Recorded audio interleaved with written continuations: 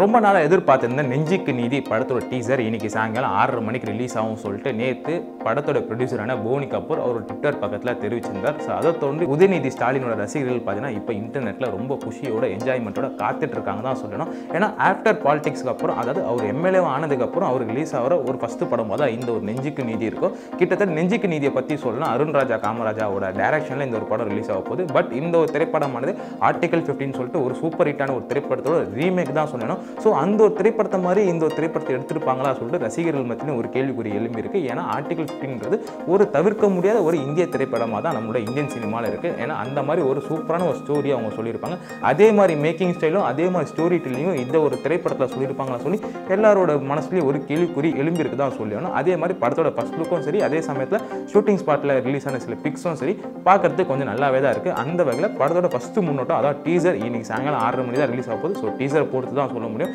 எந்த அளவுக்கு அந்த ஒரு படத்தோட இவங்க ஒப்பீடு எடுத்திருக்காங்க இல்லை அந்த படத்தோட சூப்பராக எடுத்திருக்காங்களா நம்மளும் வெயிட் பண்ணி தான் பார்த்தோம் குறிப்பாக சொன்னால் உதயநிதி ஸ்டாலினோட இந்த ஒரு படத்தில் ஆரி அர்ஜுன் அவர் ஒரு முக்கியமான கேரக்டர் இந்த ஒரு படத்தில் பண்ணியிருக்காரு. ஆஃப்டர் பிக் பாஸ்க்கு அப்புறம் அவருக்கு ஒரு ஃபேன் ஃபாலோவிங் இந்த தமிழ்நாட்டில் ரொம்ப அதிகமாகவே தான் இருக்குது ஏன்னா பிக் பாஸில் ஒரு அதிகமான ஓட்டு வித்தியாசத்தில் ஜெயிச்ச ஒரே கண்டெஸ்டண்ட்டாக ஒரே போட்டியாளர் ஆரி அர்ஜுனன் மட்டும் தான் இருக்காரு. அந்த ஒரு சாதனை இன்னும் எந்த ஒரு பிக் பாஸ் போட்டியாளருமே பண்ணலை பண்ணவும் முடியாது. ஏன்னா அந்தளவுக்கு ஒரு சூப்பரான ஒரு ஓட்டிங் டிஃப்ரெண்ட்டில் ஜெயிச்சவர் தான் ஆரி அர்ஜுன். ஸோ அவரும் இந்த ஒரு படத்தில் ஒரு முக்கியமான ஒரு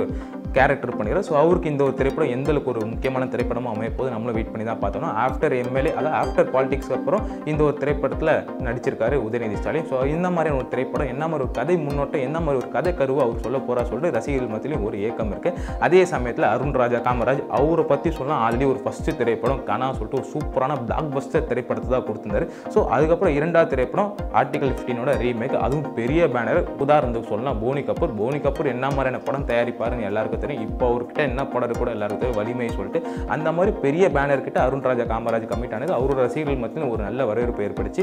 ஸோ உதயநிதி ஸ்டாலின் கூட்டணியில் அருண் ராஜாவோட காமராஜோட விஷன் அந்த எந்த அளவுக்கு எடுத்துகிட்டு வந்திருப்பார் சொல்லிட்டு அவங்ககிட்டயும் ஒரு எதிர்பார்ப்புக்கு தான் சொல்லணும். ஒரு மிகப்பெரிய எதிர்பார்ப்புக்கு மத்தியில் தான் இன்னைக்கு இந்த நெஞ்சுக்கு நீதி திரைப்படத்தோட டீசர் வந்து ரிலீஸ் ஆக போகுது. பார்த்தா டைட்டில் எங்கேருந்து எடுத்திருக்காங்க நம்ம எல்லாருக்கும் தெரியும். நான் சொல்லவே தேவையில்ல. ஸோ அதுக்கே அதுக்கு ஜஸ்டிஃபை கொடுக்குற மாதிரி இந்த ஒரு படம் இருக்குமா சொல்லிட்டு எல்லாருமே எதிர்பார்த்துட்டு இருக்காங்க. நம்மளும் வெயிட் பண்ணி தான் பார்த்தோம். இந்த சாயங்காலம் ஆறரை மணிக்கு டீசரை வந்து ரிலீஸ் பண்ண போகிறாங்க என்ன மாதிரியான எக்ஸ்பெக்டேஷன் என்ன மாதிரி டைலாக்னா இந்த டீசரில் வரப்போது நம்மளும் வெயிட் பண்ணி தான் பார்த்தாகணும்.